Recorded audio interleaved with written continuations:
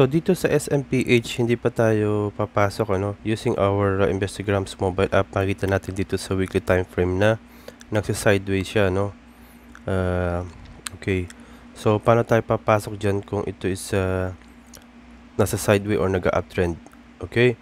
So we will check sa daily kung meron na tayong signal to buy. Okay? Lagi tayong bababa ng isa. So dito sa daily niya is wala pa. Actually is uh, sell ito eh.